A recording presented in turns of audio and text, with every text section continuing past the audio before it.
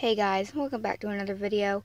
Today, um, I know I haven't been posting in a while, but I just kind of wanted to show you guys something. Okay, so I am here at the Bristol Village Ball Field. Dang it, it's hard to show. Hope you guys can see that. Anyway, I'm here and I had to come to the car because you guys will not believe what I found.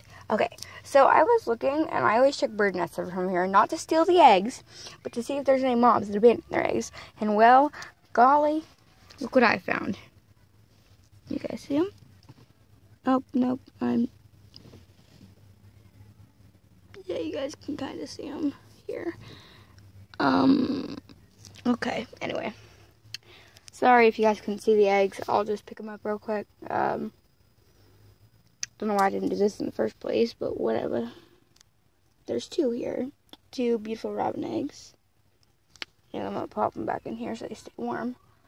And, um, pretty much, they were freezing cold. And I really didn't know what to do. And there was another mom bird.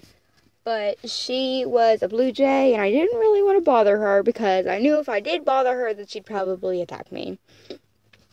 So and we have this other robin nest at my house, and these are robin eggs, I think. I hope they are at least. I mean, she wouldn't know. I already gave her another egg that I found that was laying in the grass.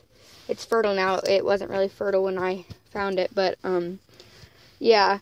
And, um, guys, please, I don't really know what to do. Is this a good idea to do this? Um, I really, like, I'm not sure if it's a good idea or if I should just put these eggs back. But I feel like if I put them back, then they'll just die. But if I give them to the mom, then she'll keep them warm and feed them. Well, guys, tell me what I should do. Thank you, guys. Bye.